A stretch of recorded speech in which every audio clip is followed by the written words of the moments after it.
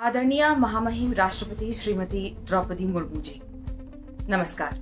मैं डॉक्टर मिर्यूसा, इस देश की एक आम नागरिक, एक औरत। आज मैं इस वीडियो के माध्यम से आप तक एक अपील पहुंचाना चाहती हूँ। यह अपील मैं पूर्ण रूप से एक औरत, एक इंसान होने की हैसियत से कर रही हूँ। पिछले ढाई महीने से हमारे देश का एक राज्य, मणिपुर, जातीय हिंसा की आग में जल रहा है। इस आग की लपट में डेढ़ सौ से अधिक लोग आ चुके हैं। जिनमें पुरुष, महिलाएँ और बच्चे सभी शामिल हैं।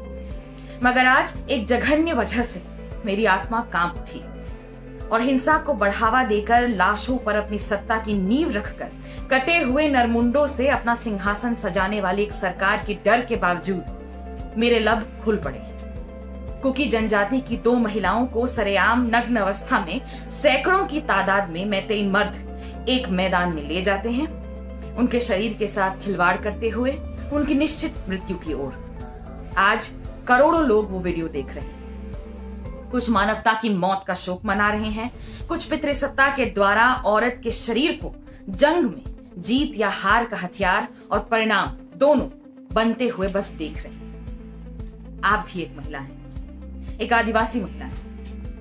इस देश का इतिहास सदियों से मूल निवासी महिलाओं के साथ हुए हिंसा को देखता आ रहा है। आप भी जानते आपका देश के सर्वोच्च पद पर होना सभी महिलाओं के गर्व और आश्वासन का विषय था। फिर आप चुप क्यों? आपके पास वो अधिकार है, वो ताकत है, जो हम जैसी आम महिलाओं में नहीं है, आम आम नागरिकों में नहीं आप शांति की अपील करेंगी तो शायद देश की विभिन्न समुदायों में हिंसा को पालने वाली सरकार की डिनर टेबल से गिरते लोगों के मांस के टुकड़ों पर पलने वाली देश की मीडिया को मणिपुर का एहसास हो? शायद आपके कहने से दुनिया में बचते भारत के डंके की आवाज़ के शोर में कहीं उन्हें उन दो कुकी लड़कियों की आँखों में गूंजती चीख सुनाई दे। शायद सरकार को ही गोश्त नोचते नोचते यह याद आ जाए कि यह तो इंसान का है। औरत का शरीर इस देश में बहुत सस्ता है। शायद आपकी आवाज़ से उसे कोई भाव मिले। इसीलिए मैं आपसे करबद्ध प्रार्थना करती हूँ। उन दो कुकी महिलाओं के लिए जो उन सौ आदमियों के नंगे जीत की एक कातिल, बुजदिल, फांसीवादी सरकार की और पितृसत्ता की बलि चढ़ गई। मणिपुर को बचा लीजिए। वहाँ की औरतों को बचा लीजिए।